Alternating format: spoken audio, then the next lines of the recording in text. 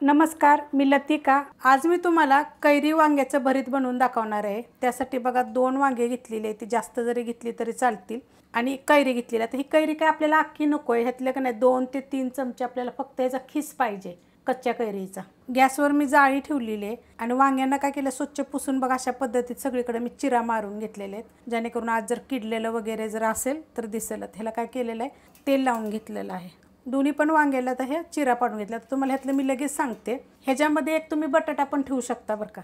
आता वांगी काय करायची माहिती आहे का? आपल्याला अशी फिरवून फिरवून भाजून घ्यायची. आता तुम्हाला मी सांगितलं ह्याच्याबरोबर तुम्ही एक बटाटा जरी ठेवला तरी चालेल. बटाटा काय करायचा? शिजवून घ्यायचा. जास्त शिजवायचा नाही आहे आपल्याला एकदम असा सॉफ्ट झाला ना असा नाही पाहिजे. थोडासा साधारणसा थोडासा कच्चा राहिला तरी चालेल. आणि तो न शि शिजवल्यानंतर थोड्या वेळ फक्त ह्याच्याबरोबर एक दोन ते तीन मिनटं फक्त जाळीवर ठेवायचा. आणि नंतर मग ह्याच्याबरोबर जसं आपण हे करणार आहे ना भरीत तेव्हा मी सांगेन तुम्हाला मग काय करायचं ते. वांगी बघा चांगली मी भाजून घेतलेली आहे. आता ह्याचं काय करते हे आपण पूर्णपणे काढून घेऊया त्याचं.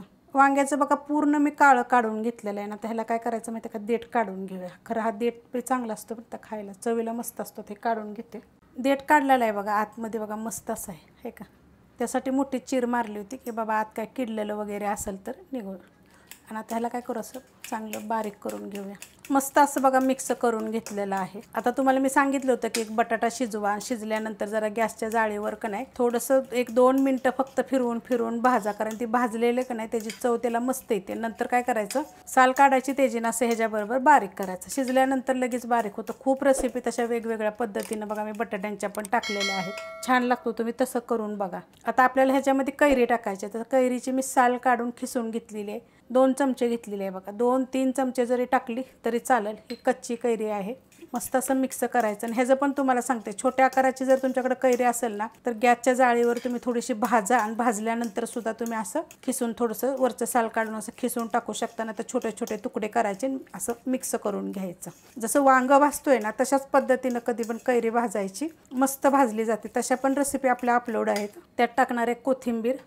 जास्त घेतलेली आहे बघा. त्याची देठं पण घेतलेली आहे. एक मिडियम आकाराचा कांदा घेतलेला आहे. आता काय होतं माहिती आहे का? गरमीच्या दिवसात जेवणच जात नाही. असं वाटतं की काय खा नुसतं पाणी प्यावं का? एक तास तर तुम्ही अशा पद्धतीनं कैरी टाकून करून बघा भरीत. इतकं छान लागतं ना. आता हे मिक्स करून घेते.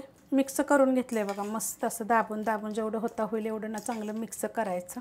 आता ह्यात टाकायचे आपल्याला चवीप्रमाणे मीठ.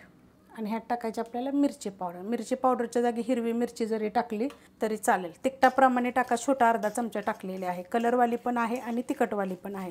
मीठ आणि मिरची पावडर टाकल्यानंतर बघा मिक्स करून घेतलेलं आहे. आता ह्याच्यात टाकणारे एक चमचा शेंगदाण्याचं कूट भाजून मोठं मोठं कुटून घेतलेलं आहे. नाही टाकलं तरी चालेल एवढ्याच गोष्टी टाकून जरी केल्या तर चालेल. आता तुम्हाला जर ह्याच्यावर तडका मारायचा असलं तर थोडंसं तेल त्याच्यावर थोडीशी हिंग पावडर जिरे मोहरी हिरवी मिरची एक कापून किंवा दोन लसणाच्या पकड्या हलक्या कुटून जरी टाकलं ह्याच्यावर फोडणी तरी पण चालवू शकते. पण तुम्ही अशा पद्धतीनं कैरी वांग्याचं भरीत करून बघा. एक नंबर लागतं चवीला. उन्हाळ्याच्या दिवसात खूप रेसिपी आपल्या चॅनलवर वेगवेगळ्या पद्धतीनं आहेत. तुम्ही असं तर एकदा करून बघा. रेसिपी आवडली तर लाईक करा सबस्क्राईब करा कमेंट करा आणि शेअर बी करा.